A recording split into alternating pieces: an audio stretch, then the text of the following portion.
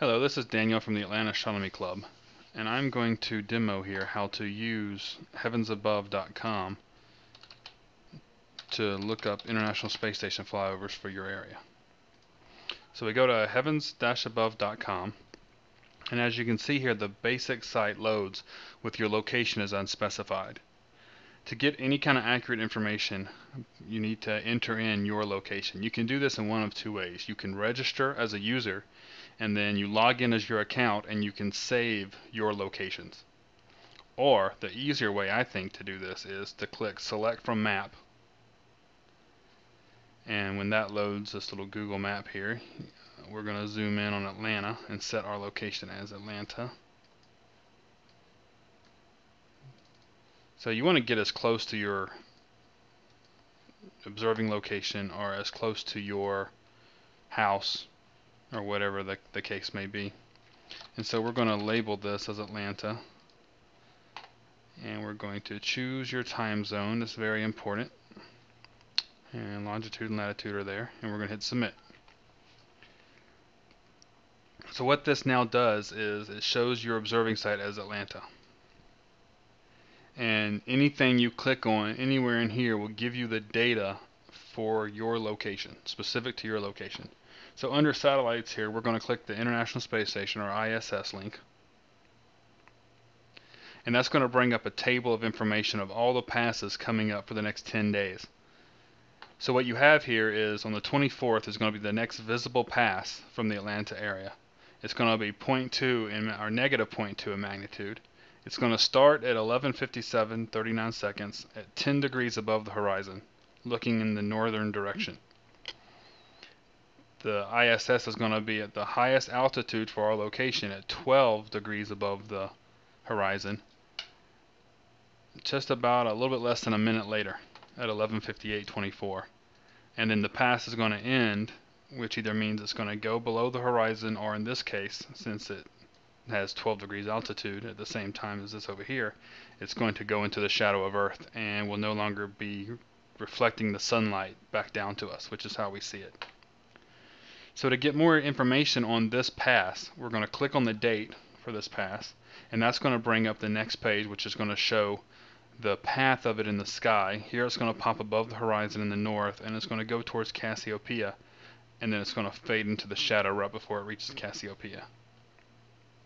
And scroll down here, it gives you more information on the exact timings of when it enters the shadow, when it rises above the horizon, and it gives you a star chart of the path in the sky based on your location. So as you can see, it's going to come above the horizon here, head towards and enter the shadow right before it gets to Cassiopeia. So that is how you see a pass. But if you want some more information as to exactly where the International Space Station is going to be over the country, you can click this ground track link up here and it will show you a map of the United States and the path. This red circle is our horizon. So what happens is the International Space Station is going over Canada, going over the Great Lakes. It comes above our horizon right here, and it goes above Michigan, and then right about here where the arrow is is where it goes into the shadow of the Earth. So this right about here, the sunlight is no longer hitting the International Space Station, so therefore we cannot see it any longer. But it continues on this dotted line here. Now going back to the main page of Heavens Above, and as you can see it still loads Atlanta as our location. You can also go um, choose a couple other things. If you want to see a Hubble pass, it's a similar to the ISS. You can click on these daily predictions for the satellites and what this is good for is if you're at an event with some kids or with your friends and family and they see a satellite pass over, they may ask you what satellite that is. And using this information, you'd be able to tell them. It'll show you a whole chart of every visible satellite that's going to pass over your location tonight. So based on the time that you see it and the direction it's heading, it gives you a good idea of which satellite or space junk is usually what it is. So. Then uh, iridium flares are really cool to see. They're really crowd pleasers. So if you click on next 24 hours, it'll show you all iridium flares that are going to occur in the next 24 hours. As you can see, there's two tonight on June 21st. And what these are is a satellite will pass the sky. Sometimes it's barely visible passing through the sky. Sometimes you can't see it at all. And then what happens is the solar panels are aligned just right to reflect the sunlight that are hitting them right back down to Earth. So you'll see the satellite go across the sky, and then all of a sudden it'll get immensely bright, brighter than any of the planets in our sky.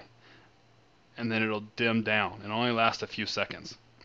So as you can see here, it's telling you to look about 14 degrees above the horizon in the west-southwest. And it's negative 6 in magnitude, so it's very, very bright. As you can see, the one that's later on, there's one about 9 minutes later that's negative 1. And the reason why is we're further away from the brightest part of the flare, as you can see here. If you click on the time, it will take you to another page that shows you where the center of the pass is. This is where the brightest part of the flare would be, and where we are away from it, about 30 kilometers away. If you click here on the satellite name, and then go up here to passes visible, then you can see the time here for the pass. So this is when the pass was, and as you can see, the satellite is normally 8 magnitudes. That's really not visible to the naked eye. But if you click on the date this time, it'll show you where to look. So it's a little roundabout way of showing you how to find what, where this flare is going to be. But as you can see, it kind of north, west, kind of goes to the south, just south of Saturn. It goes through Leo. So if you scroll down, it'll show you where you see the time max altitude here is probably about the time of the flare. So find that on the chart. It's about right there. So right as the satellite passes into Leo. Clicking on the chart will blow that up a little bit is when it'll flare. So it gives you an idea of where to look, and that's very important because you have to be know precisely where to look to catch these things.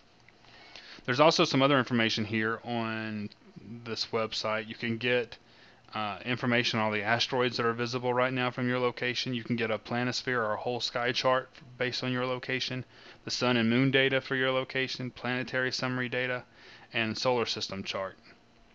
And you can use the planetary summary data and the solar system chart to find out what planets are seeable or visible right now what time they rise, what time they set, and how far away from the sun they are and how far away from the earth they are, which is really good information to know when you're doing an event with kids because they're, they're always interested in that information.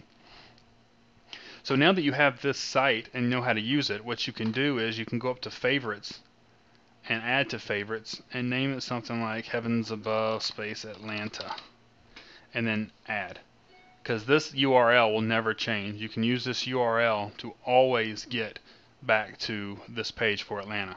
So now that you have it as a favorite, you can, regardless of where you are, you can just click on Atlanta.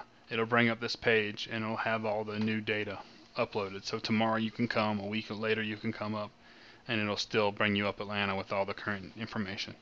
So that's how you use Heavens Dash Above to get uh, predictions for when the International Space Station Iridium flares are going to pass over, as well as a whole bunch of information that, that may help you out on an observing field.